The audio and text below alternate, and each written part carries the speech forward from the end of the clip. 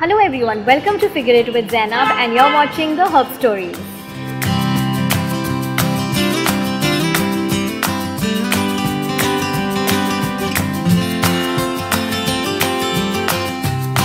herb that I will be talking about today is thyme. Now thyme is a Mediterranean herb with dietary, medicinal and ornamental uses. The flower, oil and leaves of thyme have been used to treat a range of symptoms and health ailments.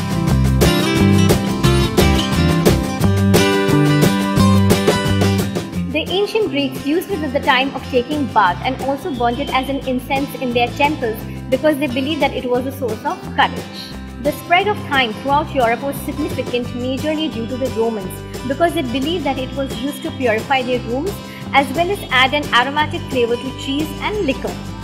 The spread of thyme throughout Europe was significant majorly due to the Romans because they believed that it was used to purify their rooms as well as add an aromatic flavor to cheese and liquor. If one experiences cold, thyme can help you come back in good health. Now thyme is also loaded with copper, iron, manganese and dietary fiber. Thyme also has health benefits where it helps to treat diarrhea, stomachache, arthritis and throat. The most common being Thymus vulgaris.